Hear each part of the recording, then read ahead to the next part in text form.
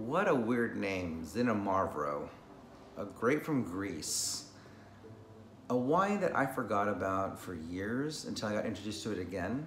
And damn it, it's so good. Excuse my language.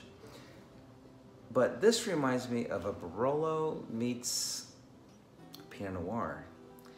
It's silky, it's beautiful. It's like you're picking blackberries off the tree and eating them and then putting into this. It is ridiculous.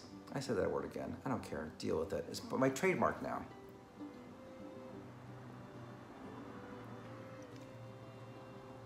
Yeah, this is um, for the money people. It's around 22 to about $30 wherever you can find it. Alpha Estate, very well established winery in Greece.